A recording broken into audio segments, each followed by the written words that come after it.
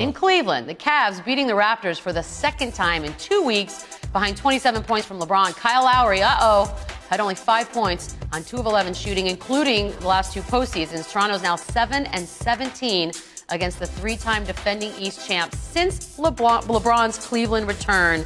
This is not the time where we want to start talking about this again, but is this team doomed if they face the Cavs in the playoffs? They don't have LeBron.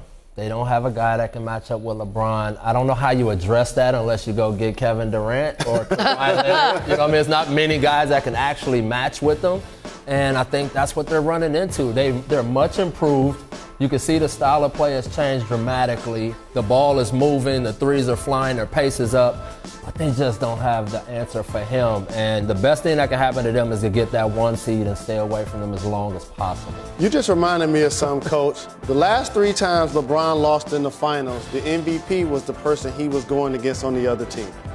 Kawhi Leonard, Andre Iguodala, and Kevin Durant. Mm-hmm. Durant. If you can't make LeBron James work defensively, he's going to be extra dominant on the offensive end. By the way, this is not personal to the Raptors. Absolutely. It doesn't matter if it's Philly, Indiana, Washington, the Celtics. LeBron is an equal opportunity person when it comes to his dominating the Eastern Conference. My my low key favorite coach in the league is Dwane Casey. I just love Dwane Casey, how his team reflects him He's gotten better every year. His guys have gotten better every year. I feel like low key's out the window when you say it on now. it's high key, but I'm just saying all of this time, no I've just always respected yep. him. You know, he kicked our butt when they were in Dallas as assistants. I just got a lot of respect for him and how he's grown and that team's grown. But. Mm-hmm. LeBron is LeBron, and that's just a tough matchup for Toronto. And I know you mentioned all those other teams, but there seems to be a particular cloud that looms over this Toronto team that when we get to this time of year, hmm. we all start to say, Oh, not again. Here are some numbers I just want you to take a look at. They've lost just twice to teams below wow. 500.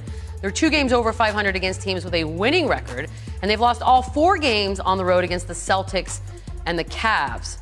So I know they've improved. We've seen a lot out of them this season, but do these numbers do anything as far as putting doubt in your mind about just how good they are? It absolutely does. The Toronto Raptors are the first number one seed at this point of the season that we don't feel like have a legitimate chance to win the conference. That's a valid And the numbers you just showed are exactly the reason. And a lot of times your role players reflect that. Dwane Casey has done a really good job of building out his bench, creating some depth. Yep. But he needs those players to perform well against the better teams in particular, one player that's an all star, Kyle Lowry, who you said had five points last night. Right. He has to step up for him. Obviously, you see how it looks when he doesn't play well for him. But one thing to say about Toronto, more than in the past, the ball is spread around a lot more, and a lot more guys are getting involved in making plays and making shots for them. So I don't think they're overly relying on him. But for them to beat the best, he's going to have to play great for them. And, uh, you know, this is his test. Can he rise to the challenge? Well, it's time. Why don't we go up to Toronto, Canada? It is the site for the game tonight between the Celtics and the Raptors. Only the Rockets have a better home record than Toronto this season. T-Dot.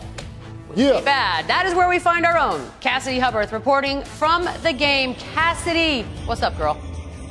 Hey guys, like the new digs. It's really uh, City Never Sleeps for you two. Design them ourselves. For sure. Yep. All right, quick story time. So I'm on the call with Mike Breen, Doris Burke, you know, you know, goats. Uh, so what do they know? But we were we were on a game a couple weeks ago, and we were talking about this one, wondering if the Raptors and Celtics were going to play their guys because it felt like it was going to be an absolute lock that the Raptors were going to get the top seed. Well, what do DB and Mike Breen know? Excited for everything. So I mean, it's really surprising where we're at right now because the Raptors, look, they're three and five in their last eight games, and a big reason why is because Kyle Lowry, as he said, they haven't played good defense in a month. In fact, they have the worst defensive efficiency in the league since March 18th.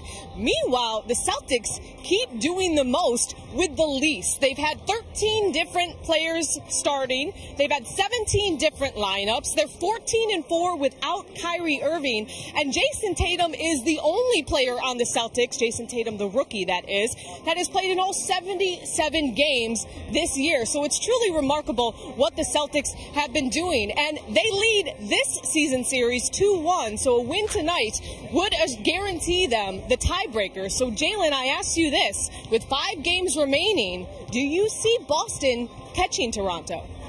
Cassidy, that's a great question, and I understand why we're going there based on all of the numbers we just said about the Toronto Raptors.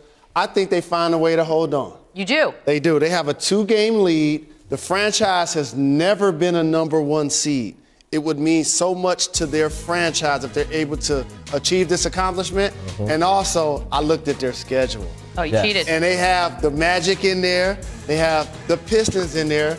Both of those teams won't be going to the playoffs. And as we just learned, they fare really well against those type of teams. Yes, they do. But I'm telling you, this game tonight will let you know everything you need to know. Boston wins this game tonight. I got Boston taking over the number one. So I'm, I'm glad you said that because let's just throw numbers out the window for one second. I want to know about the mental side of if they lose this game tonight to the Celtics. Is that more damaging than anything else that could Very happen? much so. I think it definitely is a, is a chink in the armor. Um, this is a must-win for really for both teams to get the number one seed, but for Toronto to climb and them trying to get to where they've gotten to, and They're at now home. They're right there. They're at home. They must win this game.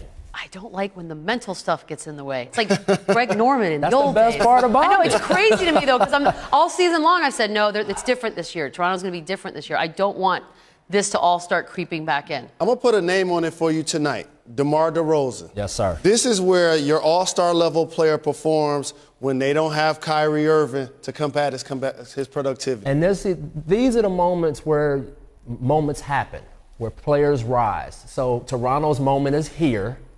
DeMar DeRozan, it's your time to step mm-hmm. up and get your team over that hump. Well, the other guy, Kyle Lowry, the Raptors have cut back on his minutes this season. The whole reason for that is to keep him fresh for the playoffs, but he hit a lull in the last four games, averaging only nine and a half points on 32.